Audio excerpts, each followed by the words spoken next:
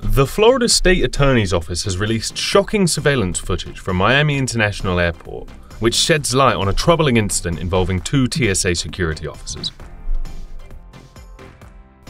In the surveillance footage, TSA officers Labarrius Williams and Josue Gonzalez can be seen going about their duties and handling the luggage of passengers passing through the airport security.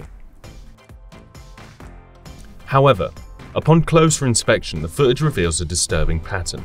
The two officers appear to be taking items from the luggage, all while creating a distraction that diverts any attention from the passengers. In one instance, one of the TSA agents can be seen slipping something into his pocket, which appears to have been taken from a passenger's bag.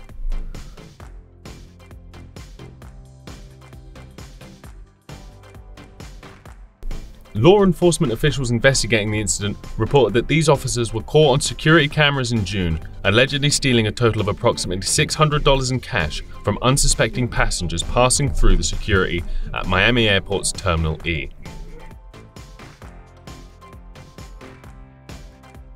The TSA subsequently removed these individuals from their screening duties.